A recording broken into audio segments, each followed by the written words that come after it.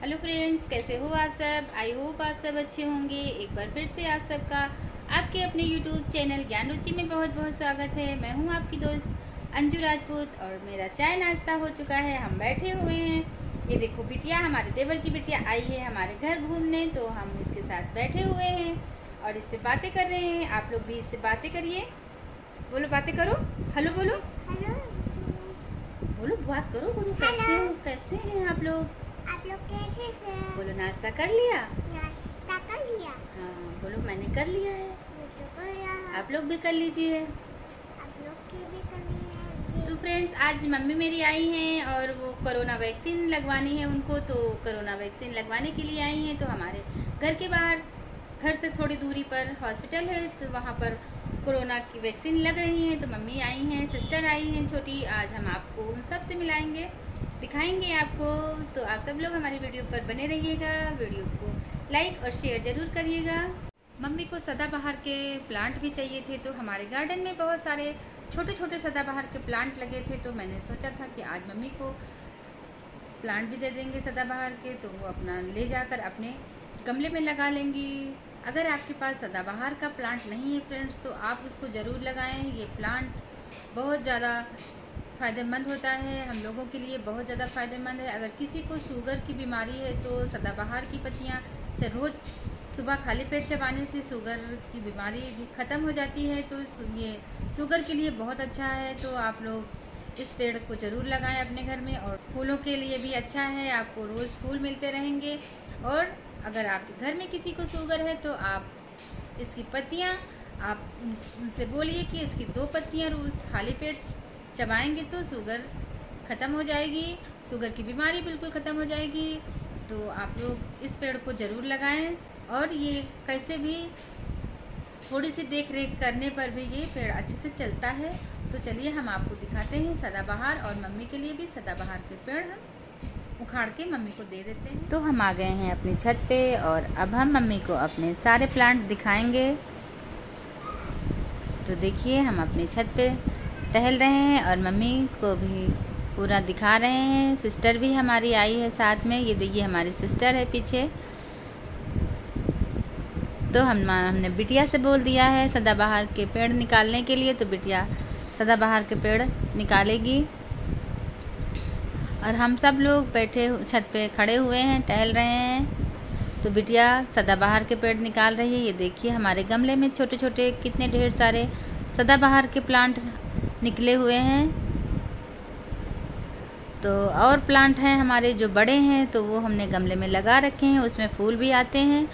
तो ये हम, हमारे जो छोटे छोटे से प्लांट हैं तो ये हम उखाड़ के मम्मी को दे देंगे। तो मम्मी हमारी पूरी छत घूम रही हैं, देख रही हैं कौन कौन से प्लांट हमारे घर में लगे हुए हैं। ये आयुष्मान है, ये नानी के पीछे पीछे लगे हुए हैं कि ये नानी के साथ जाना चाह रहे हैं। ये देखिए, मौसी सेल्फी ले रही हैं। इनको हमारा गार्डन बहुत पसंद आया है तो ये सेल्फी ले रही हैं। तो बिटिया, अपना पेड़ निकालने में लगी हुई है। तो मैंने बिटिया से बोल दिया है कि बड़े बड़े प्लांट थोड़ा निकालना, ताकि नानी लगाएँगी तो अच्छे से लग जाएँगे, छोटे पेड़ ज़्यादा हो सकता है ना लग पाए तो मैंने जो बड़े बड़े प्लांट अच्छे प्लांट जो मुझे दिखाई दे रहे हैं, वही प्लांट हम निकाल रहे हैं। तो देखिए बिटिया इसको निकाल रही है, थोड़ा मिट्टी सूखी है तो उखाड़ने में थोड़ा सा प्रॉब्लम हो रही है, खुरपी हमारी मिल नहीं रही है। खुरपी यहीं छत्ती पे थी, लेकिन पता नहीं कहाँ है, किसी गमले वमले में दबी होगी शायद, मिल नहीं पाई है तो तो बिटिया ने सारे प्लांट हाथ से ही उखाड़ दिए हैं और अच्छे से उखड़ भी आए हैं और ये आसानी से चल जाएँगे। आयुष्मान ने पापा को मना लिया है नानी के साथ जाने के लिए तो मम्मी को वैक्सीन लग चुकी है और मम्मी आई थी सुबह ग्यारह बजे और अब बज रहे हैं चार शाम के तो अब मम्मी घर जा रही हैं तो आयुष्मान भी तैयार हो गए हैं, वो भी जा रहे हैं। तो आप सब लोग देखिए।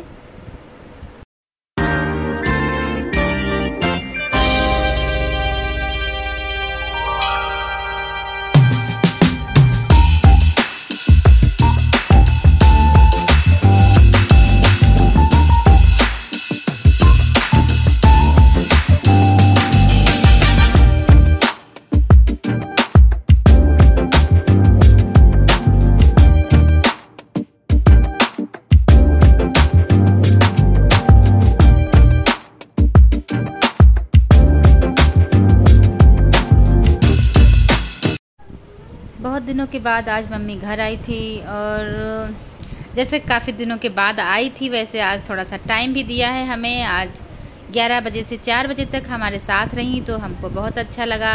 बच्चे भी बहुत ज़्यादा खुश हुए। तो आयुष्मान हमारे जिद कर रहे थे, नानी को रोक रहे थे, लेकिन नानी थोड़ा सा नहीं रुक पाई हैं। घर पे उनके भी काम है, बिज़ी हैं वो भी तो वो नहीं रुकी हैं। तो आयुष्मान बोल रहे हैं कि, मम्मी, हम सैटरडे, संडे नानी के घर में रहेंगे, हम जा रहे हैं तो ज़बरदस्ती जिद करके उन्होंने पापा को मना लिया है तो वो जा रहे हैं। तो मम्मी भी जा रही हैं अब। तो आयुष्मान हमारे पूरी तरह से तैयार हुए हैं तो इन्होंने अपने हाथ अपनी तैयारी की है। आप लोग देख सकते हैं कि ये अपने बाल भी उल्टे तरफ़ से खींच रखे हैं इन्होंने। इन्होंने मुझसे कंगा भी नहीं करवाया है, बोले हैं, नहीं, मैं अपने हाथ से तैयार होऊँगा। तो ये अपने हाथ से तैयार हुए हैं और ठीक से इन्होंने बाल वाल भी नहीं खींचे हैं। उल्टी साइड से इन्होंने कंघी की हुई है और नानी के साथ जा रहे हैं। तो मम्मी चली गई हैं और हम भी जा रहे हैं, फिर मिलेंगे। Bye bye